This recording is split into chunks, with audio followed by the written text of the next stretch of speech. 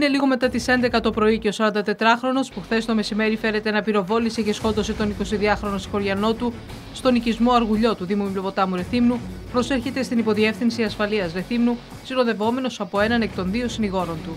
Παραδίδεται στις αρχές, παραδεχόμενος την πράξη του.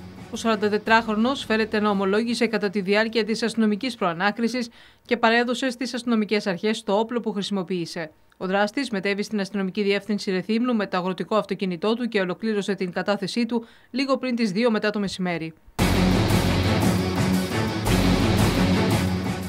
Τι συνέβη όμως και η κατάσταση οδηγήθηκε σε ανθρωποκτονία, οι πληροφορίες που ερευνώνται από τις αρχές κάνουν λόγο για μέλη δύο οικογενειών που είχαν συχνά διαφορές που οδηγούσαν σε έντονες διαφωνίες.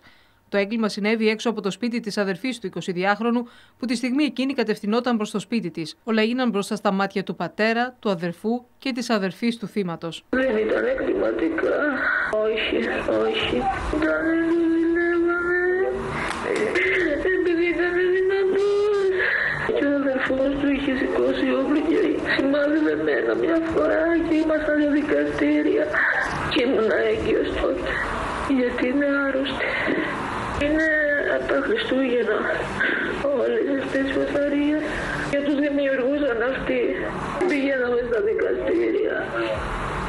Δίπλα ήταν τα σπίτια.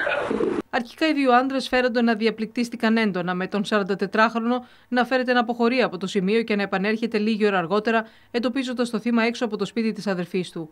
Σύμφωνα με τις έως τώρα πληροφορίες, ο καθομολογίαν δράστης φέρεται να έβγαλε το όπλο του και να πυροβόλησε κατά του 22χρονου, ο οποίος έπεσε στο έδαφος εμόφυρτος. Ο 44χρονο αμέσως μετά τους πυροβολισμούς τράπηκε σε φυγή, ενώ το θύμα μεταφέρθηκε στο νοσοκομείο Ρεθύμνου, όπου διαπιστώθηκε ο θάνατός του. Χωρίς λόγο.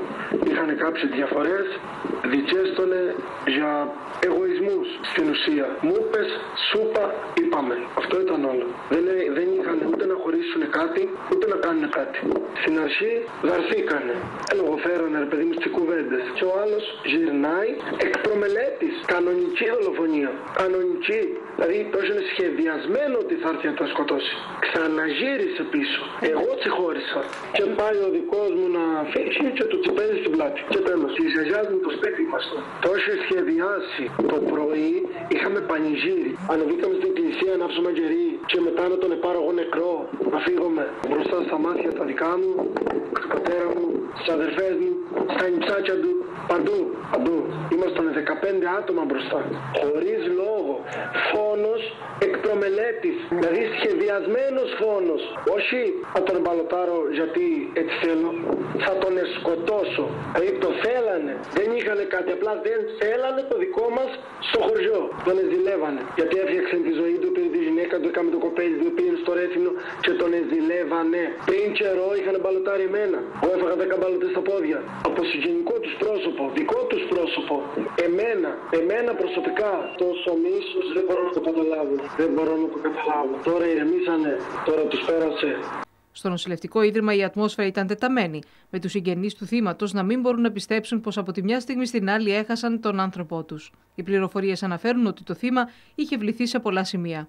Εν μέσω τραγικών στιγμών που ζει η οικογένεια του θύματος, κλήθηκε να τηρήσει και το έθιμο που ορίζει πως πριν την κηδεία θα πρέπει να έχει τελεστεί η βάφτιση του μόλις ενός μήνα μωρού του άτυχου άνδρα. Από την πρώτη στιγμή που κλήθηκαν, οι αρχές έθεσαν την ευρύτερη περιοχή υπό αστυνομικό κλειό, υπό το φόβο τυχόν νέων διαπληκτισμών. Οι ισχυρές δυνάμεις της αστυνομίας παραμένουν και σήμερα στον οικισμό, φρουρώντα τα σπίτια τόσο του 22χρονου θύματος όσο και του 44χρονου φερόμενου ως δράστη.